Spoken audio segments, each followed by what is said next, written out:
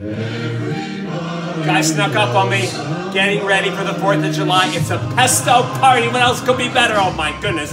Pesto pizza. We're gonna have uh, roasted turkey sausage, organic, on little baguettes with fried peppers.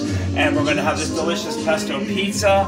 I made pesto, it's on the way right over here. We have arugula and pine nuts and Romano cheese and garlic and olive oil. My goodness, it's the great American holiday with an Italian twist. Hey, in our house, we ate Italian on the 4th of July. Ciao, ciao.